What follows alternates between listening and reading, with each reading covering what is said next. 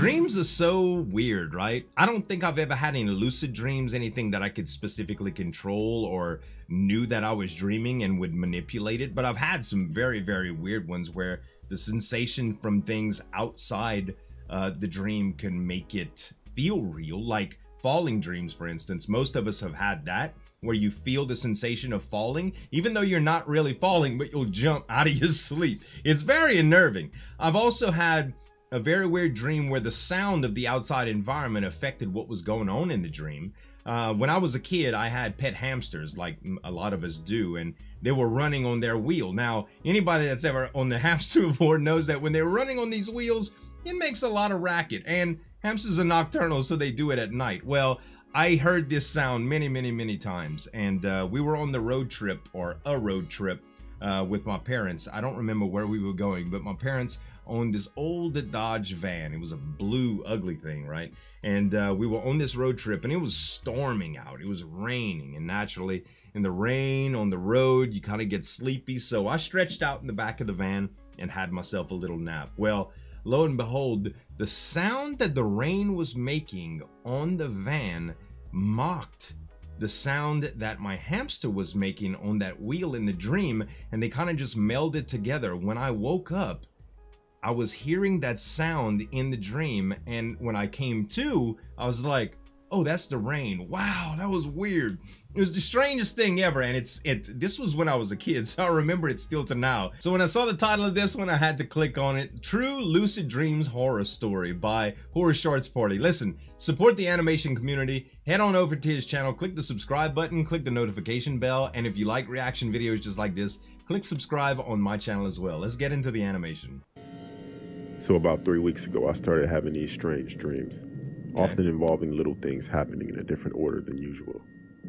It started off pretty normal. My school bus came down my street from an abnormal direction. from the sky? For some reason, this stuck with me. The dreams were kind of, you know, like an anthology. The second dream followed the next night. The dream started the same, but this time, I got on the bus. People's faces were just blurry, and wow. an odd middle aged man sat behind me. Which is off seeing as how it's a school bus. yeah, that is pretty weird. And I've never had sequential dreams like that, like an anthology. That's that's really really bizarre too. And I've had a lot of people that have these reoccurring dreams that kind of follow this sequence or whatever. I've heard those stories from people like that before, and those are very very weird too, man. The man whispered to me, but I didn't understand what he said. The next night, I had the same dream, but a few minor differences. This time I understood what he said. Remember, don't ask questions. I really didn't understand what he meant by that. That is pretty strange. The next too. day I sat in class. I kind of fell asleep during the lecture in my psychology class. the dream continued where it left off. Wow. The strange man stood up and the bus flipped. Before I woke up, he kept repeating a name. I didn't understand it. When I woke up, my mom was calling me, and I stepped outside of the classroom. So I had to answer. You must be in college. My mother informed me that my estranged father had passed. Oh. She sent me a link of the obituary. There was a picture of the strange man. Was it some kind of intuition? Or my mind playing tricks on me? What? After that, the dream stopped. I still haven't figured out what the last thing he said was. I guess I'll never know. Did he predict the future?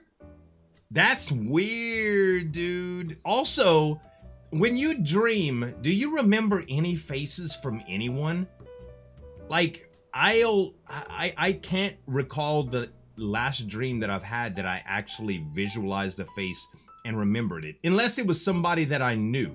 But if it was an assailant or just a stranger or anything, I can never recall the faces. I try, you know, and some of the particular details are the same way, but especially faces, I can never remember them. That's so weird, dude. So share with me if you got any kind of weird dreams that you'd like to share or anything like lucid or any of that bizarre stuff. I'd love to hear about it in the comments, guys. I hope y'all really enjoyed this one. Listen, make sure to head on over to Horror Shorts Party's channel. Click the subscribe button over there. Click the subscribe button here. I look forward to seeing you in the next one. Thanks so much for watching. As always, this is Zueljin signing off, and we'll see you next time.